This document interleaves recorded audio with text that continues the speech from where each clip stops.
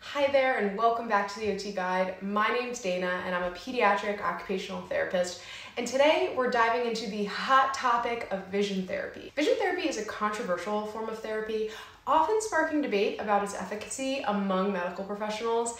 And this is no surprise. If you do some quick research on your own, the top Google hits are extremely confusing, which is why I wanted to get to the bottom of it myself. So if you're a parent wondering if vision therapy is right for your child, or perhaps you're a teacher or occupational therapist curious about its benefits, this video is for you. We'll explore what vision therapy is, the eye disorders it's typically prescribed for, and most importantly, whether it's truly evidence-based. So let's jump in and learn more about vision therapy.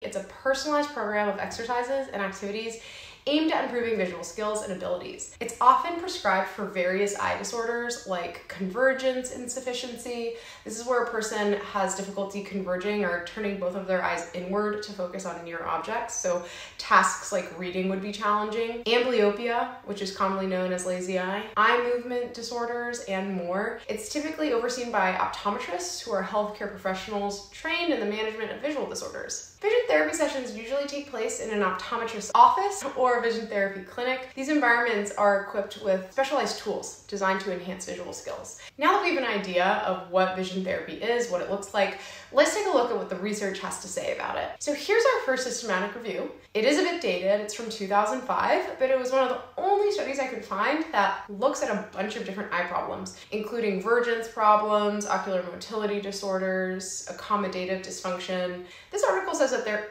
is some evidence that supports the treatment of convergence insufficiency. There wasn't any clear scientific evidence supporting the use of eye exercises in the remainder of the areas reviewed. Our next systematic review is much more current. It was published in 2017 and also more relevant because it examined the efficacy of vision therapy specifically in school children. Instead of looking at a bunch of different eye disorders, this review really honed in on whether vision therapy works for convergence insufficiency. And we have very good news. This review found that vision therapy is effective for children with convergence insufficiency. This is awesome. My third systematic review, published in 2020, again looks at vision therapy in children, this time specifically in children with amblyopia or lazy eye.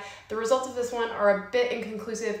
It says that vision therapy might be a promising option for kids with lazy eye.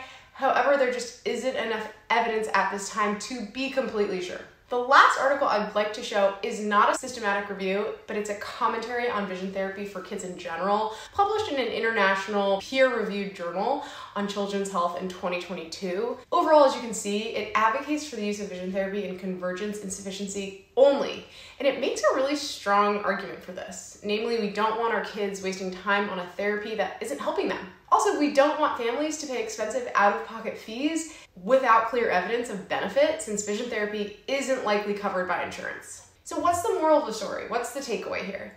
After spending an afternoon diving headfirst deep into research, this is how I am personally interpreting this. If I have a student who struggles with convergence insufficiency, meaning they struggle to focus their eyes on objects close up, I'll consider vision therapy. If they have other vision issues, I probably won't. If you decide to try vision therapy, monitor your child's progress closely. If you don't see any improvements after a few months, it may be time to explore some other options. Anyway, I hope this video was helpful for you. If it was, please give it a thumbs up, comment, like, and I look forward to seeing you all here next time. Thank you. Bye.